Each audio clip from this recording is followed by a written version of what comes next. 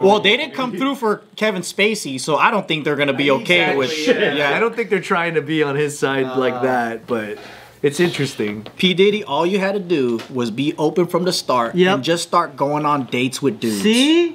That's what I said.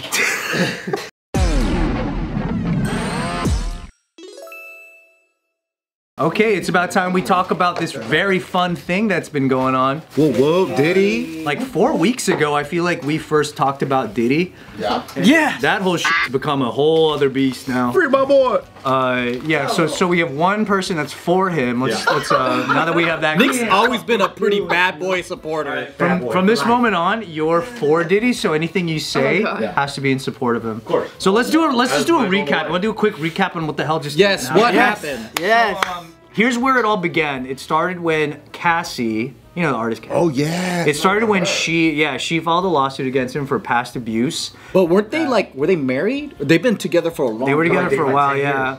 But I guess like when he was with her, uh, I mean, the lawsuit details that he used to beat her, that uh, he used to, ba- yeah, he used to rape her, and that he would also force her to have sex with other guys, and he would film it. That's so weird. And then she claimed that Diddy also blew up Kid Cudi's car because Kid Cudi was like hitting on her. Like a explosion? like a like a bomb mafia? thing, yeah, like a- wow. And then uh, also, this is, you know, keep in mind that she was 19 when and he was 37 at the time, so it's a pretty big difference. Old ass one. Uh, the day that that lawsuit went public, the next day, Diddy's legal team uh, settled it. Next day? Holy You got a good legal team. So he was probably like, Cassie will give you, we'll give you 40 mil. Yeah, I mean they knew about it, but then once the, the lawsuit actually hit the public eye, then they they tried to yeah. But it was one of those settlements where they're like, okay, we're gonna pay her the money. Nobody knows how much it was. There's like estimates that she was possibly demanding 30 million. They don't know. But it's one of those, it's not an admission of guilt thing. So Diddy continued to say none of that stuff is true, but we're gonna give her this money. Which kind of sort of sucks that like it got settled out of court because now you'll never really know. Yeah. So That's the way the legal system is, though. so because that lawsuit uh, went through and the settlement happened, a bunch of other people started coming out. Uh, a number of women first came out saying that like, oh, he actually like raped me back then during this, and and then another woman said that him and like a bunch of his uh, friends like had raped her, they drugged her.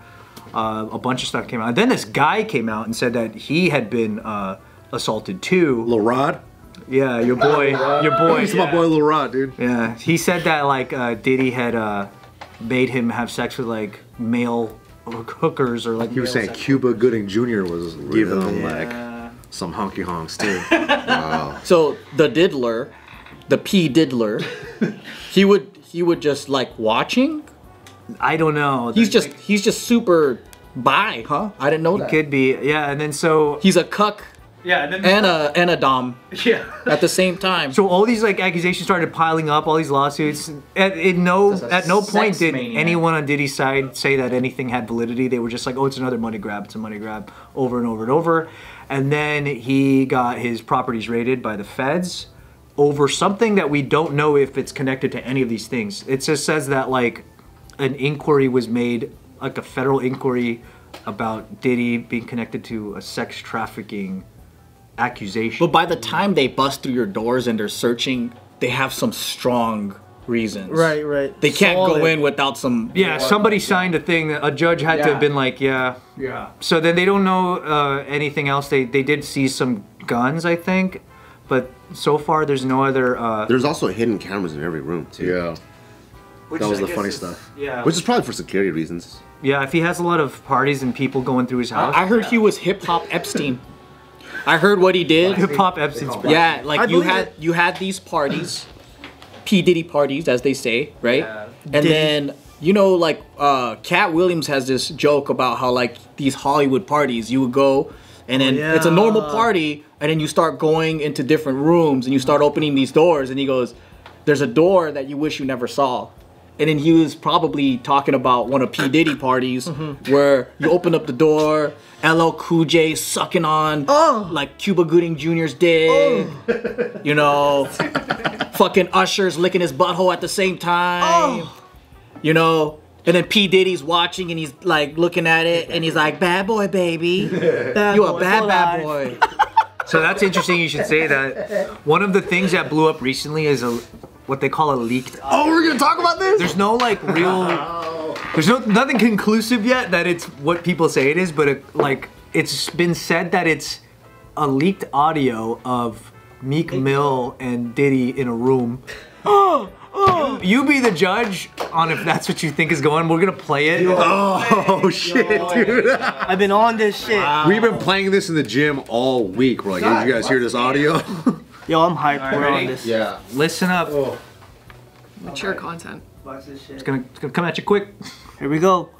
Yeah, yeah. Keep your eyes closed. Don't open them. yeah, it'd help you visualize better. Lick your lips once. There you go. Now you're ready.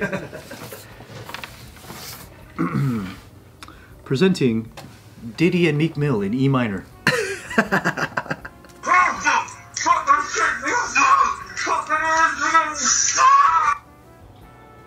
How do you know? Oh wait, it cut oh, off. Sorry. How do you know that's them? Well, come on. Think about Diddy's voice. Think about Meek Mill's voice, and then let me know if you think it's them. Ready?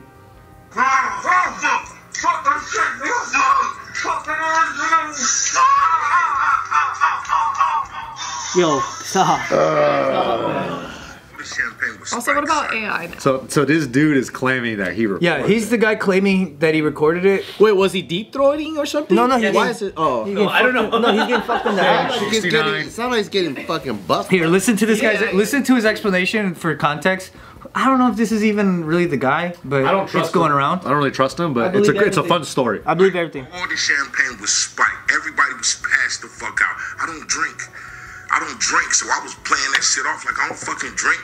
I smoke, nigga.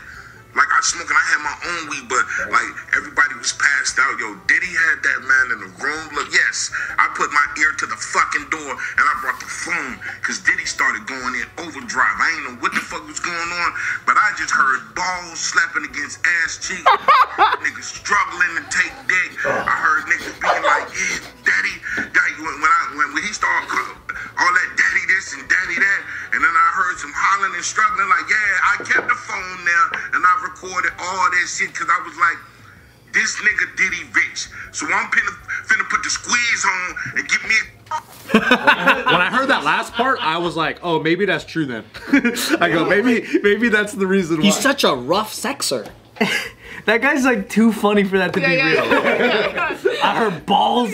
Like No, I believe this full hundred percent. Because he was like, I was gonna blackmail him. He's admitting to this. That sounds like some rough butt sex. yeah. Painful.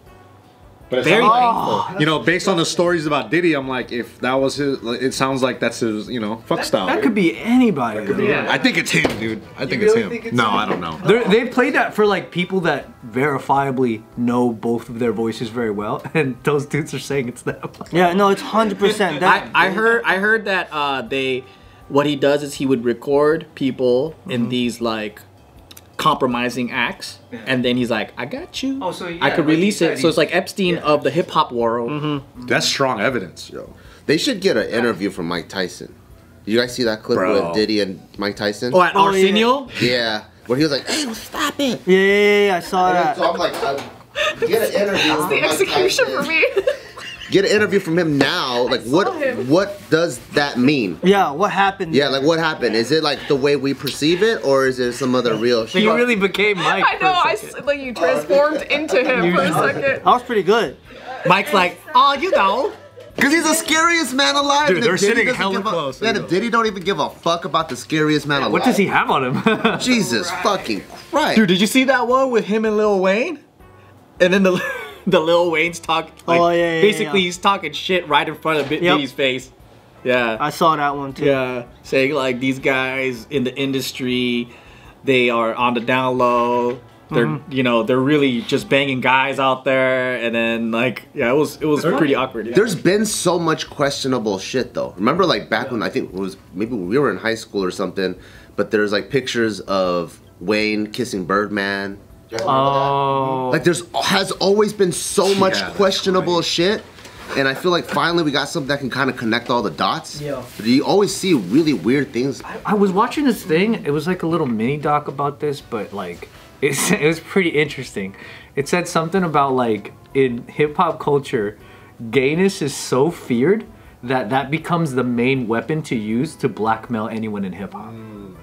that makes sense. because it's so homophobic. Like the feeling of like, oh, they're gonna know I'm gay. Like making a rapper look gay is like worse than just killing them.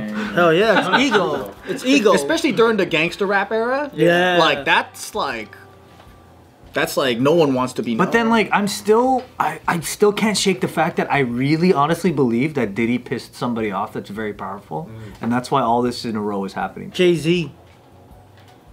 you think he pissed off Jay Z? Well, there's- that's there's the other another theory, conspiracy. though. Yeah, that's the other conspiracy. What did he why? How? I don't know how, but uh, the, the, the, like they had a Jay-Z? falling out. So the conspiracy with Jay Z is, or the theory with him is, he's playing the long game, and over the last 20, 30 years, all the people that have went down are close to Jay Z, and they all like, and the that the final result, the person that benefits is Jay Z from each one of these things that the people that go down.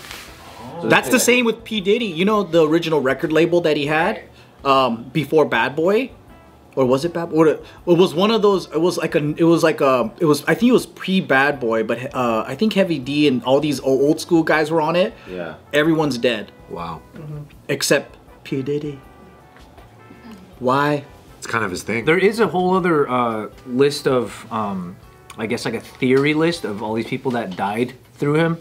That's like a whole other rabbit hole. But this, I guess, the whole like uh, thing with the sexual abuse are the only things that are actually being legally filed. So all the death stuff is like no nobody's ever taken any kind of legal action against. No one's ever like, hey, someone died because of you. I'm gonna like make sure like it's all just kind of urban legend stuff as far as How about that one dude that that killed Tupac? Said P Diddy gave him a mill to do the hit. There's like a Yeah, I don't know. There's a lot of guys that are saying that I killed Tupac. Everybody wants to be the guy that killed him. Yeah. Like the, the I think the consensus, as far as I've heard from people, is that that dude's dead already. The guy that actually really did it. Yeah. I saw the body cam saying like, uh, the guy picking up the Keith dude saying, "Hey, you're, you're getting arrested for the murder of Tupac." What the? F- There was a body cam, police body cam and shit. And he went on a whole documentary interview and everything. Damn. I don't know, man. Damn. Yeah, I don't know. It's it's interesting because I remember think um, there was back then like when when there was all the hip hop beefs, right? Uh, Tupac took Dr. Dre off of the. So there's two versions of California Love. There's one with Dre and one without. And the one without, at the end, Tupac says, "Without gay ass Dre," and then everyone's like, back then you called everybody Oh, gay. yeah. Remember? Yeah, yeah. Fire. yeah, You called everybody gay. Like you just you just when you when you got into a fight with someone, you would call them gay. Yeah.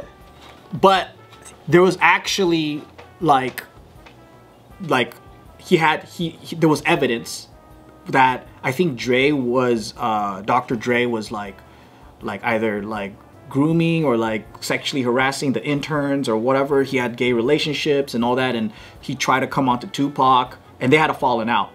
That and then so mm-hmm. Tupac, I think he was like, yeah, without gay ass Dre. And then he- I think he, he, he, I don't know, something happened there where there was an issue. And I was like, damn, I didn't know there were so many like predators in the hip hop game where they're like, you know, trying to put on young musicians. And then they're like, oh, I'm going to be a gangster rapper too. And he goes, yeah, you're going to be my boyfriend too. You know? But at the same time, it does make sense because even in the most hardcore of environments, which is jail, oh, Yeah, oh, yeah, yeah. that's part of it, mm-hmm. right? Like if you can, if you can like fuck a dude, like he's your ultimate bitch. Yeah. And then if you're making, thing. and if you're making music of the streets, like why wouldn't it reflect that? Hmm. You know? That's crazy. You know, at so the you're of telling day- me dude, a gang's like a gangster ass dude's end goal is to be in jail and to fuck butts. That's gay. That's not even gangster. But when you say it the way, but, but when you say it the way he said it, it goes. So you're telling me the manliest thing I could do is fuck another guy? Right, exactly. Maybe we're just we, on how you we haven't hit frame it. Nirvana. Yeah. Maybe I'm looking at That this thing all wrong. Scariest and threatening thing. That's that why I'm. Like, I'd rather just be He's beta. all like, I don't want to be not only alpha, did dude. I'm good. That's what that's what makes me so confused. Is that like why can't you just be a regular non-rape based gay guy? Mm. Why do you have to be like a gay fucking monster. Like, why can't you just be a, go on a date with a dude? I think Diddy just got too much power, bro. Like he's just too. That, like, if- And I don't even know if he's gay. Did he? Yeah, You know be- what I mean? Like yeah. they might be so power tripping that it's like I'm just fucking you because I thrill. can. Like people that be eating caviar. Like, do you really like the taste?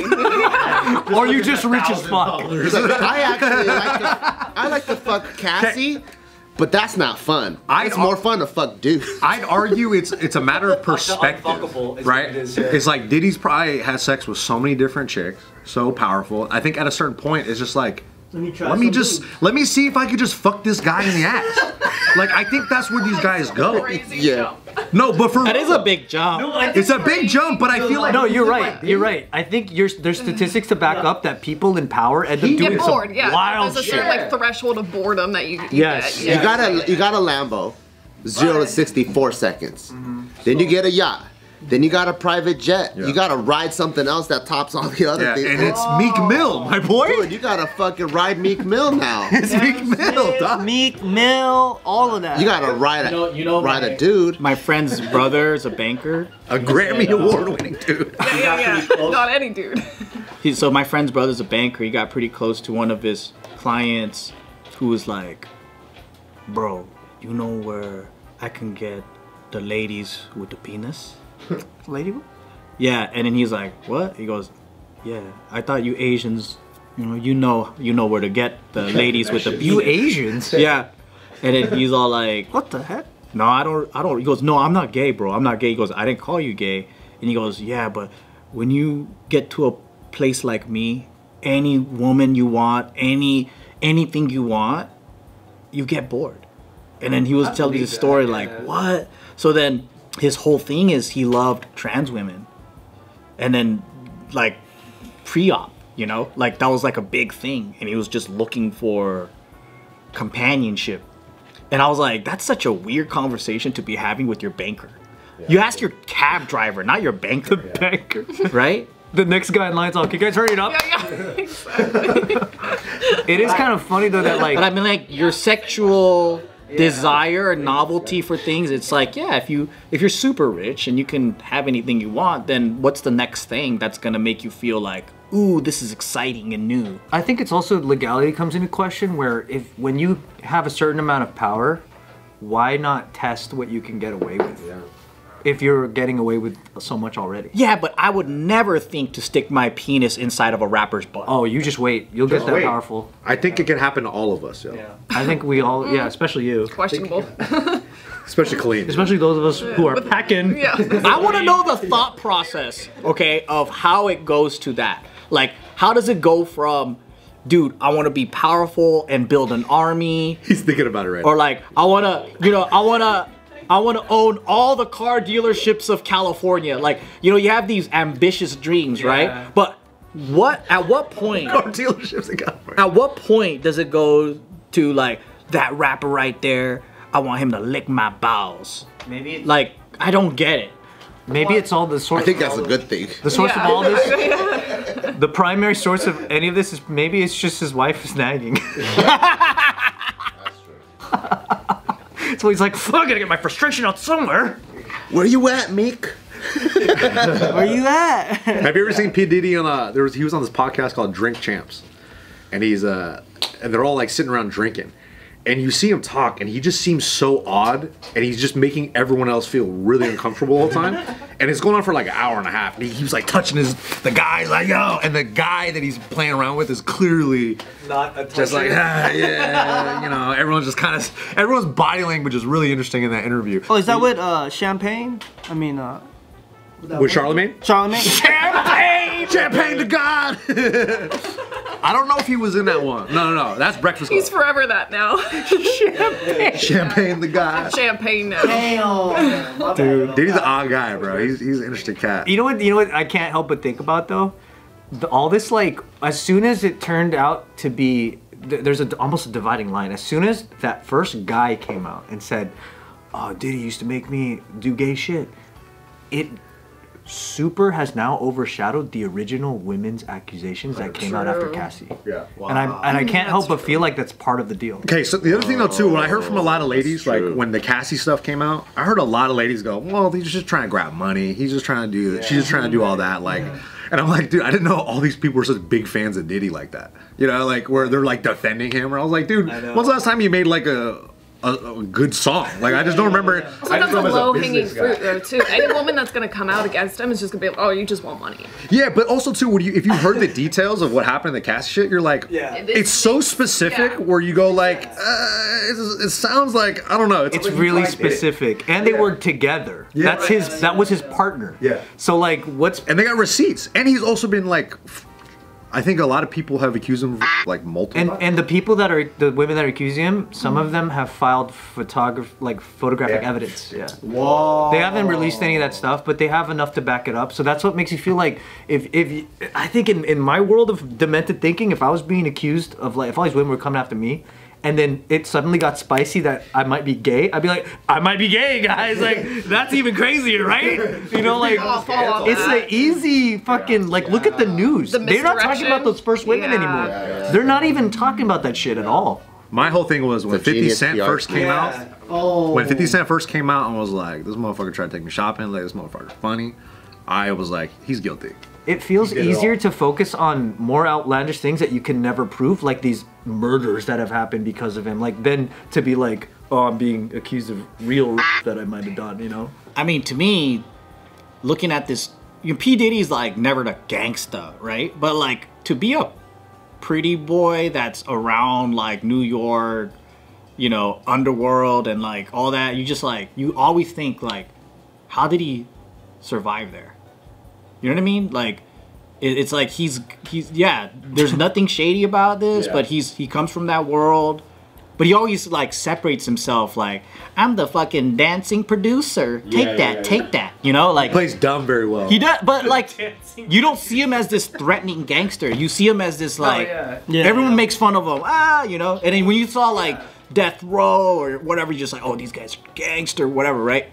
And then you're like, wait, but how did Bad Boy survive that era of gangster ass New York? Well, wasn't he the first person that, I mean, for me, it was the first person that I ever saw in rap that was primarily focusing on money. Like, having a lot of money. Because before it was like, oh, I'm, I'm dangerous, I'm cool. Yeah, but he was yeah. just fucking rich off the bat. and I was like, Yeah. this guy's First debut Oscar album, yeah. Do you guys remember when he kept changing his name from Puff Daddy to P Diddy to Diddy, and then like to he had all these different names. But apparently, all the times he changed his names was from like different lawsuits or like him getting in trouble a bunch.